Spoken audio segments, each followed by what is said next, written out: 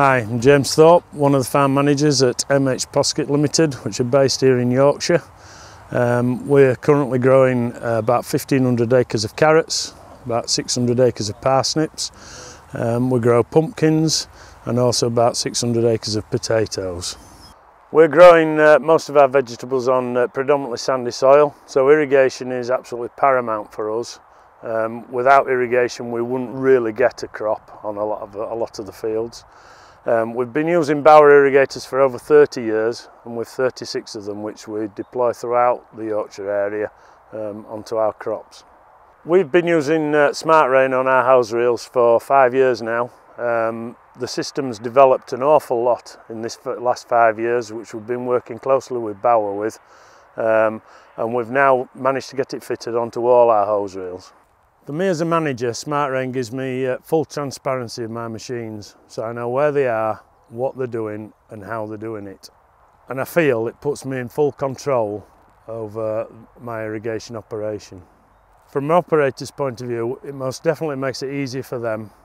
They also have full control of what's going on. They can do anything with any machine and it tells them when anything's going wrong. The other big benefit with Smart Rain is it allows me to look back onto what the irrigators have done. So they record everything they've done from water usage, which it then gives me the meter readings as an actual plus historical. So I can always go back and prove to the EA what I've done, how I've done it, and how much water we've used. Also, it would tell me on every run what the irrigator's done, the speed it ran at, how much water it used on each specific run in a field, um, which I also find very useful for controlling the irrigation operation. Another section of SmartRain is you can split your irrigators, stroke your men into teams.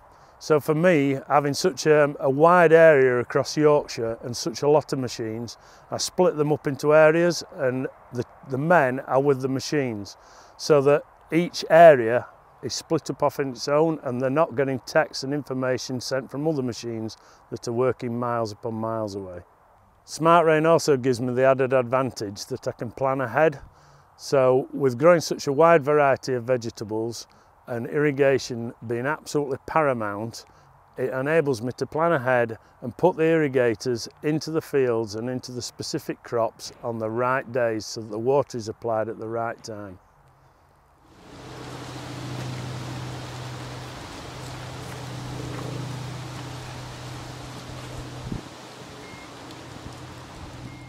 Hi, I'm Rob Jackson, Area Sales Manager for Bauer in the UK and Ireland. We've now moved from Poskett's field where we were looking at the Rainstars to their pump house where we're using SmartRain and the Ecostar 6000 to control their borehole pump to regulate their pump flow and pressure to run their irrigators in the field.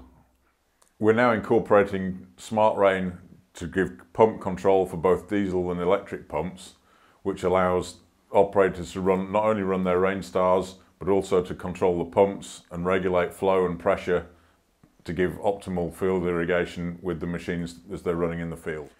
In an electric pump house, we have various options depending how we can link into the existing control system. Here we have flow read from a, a remote flow meter and we have pressure from a pressure transducer on the pump line and we have capability to start and stop the pump unit on the front of the panel. We have four main menus, an information menu, a machine data menu, a connections menu, and a system settings menu. And these allow us to configure the controller and set up the different parameters and download different data. Here we have the main pump control valve, which is linked to the SmartRain controller to allow us to regulate the pump output against a target pressure. We can preset that target pressure on the SmartRain and adjust it through the SmartRain app and the valve will automatically regulate the pressure in the line to maintain a constant line pressure at all times.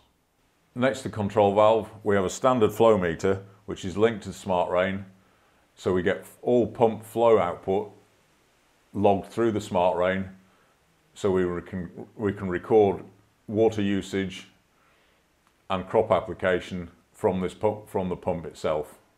Moving on to the app, we have details of the pump, the map will give you the pump location.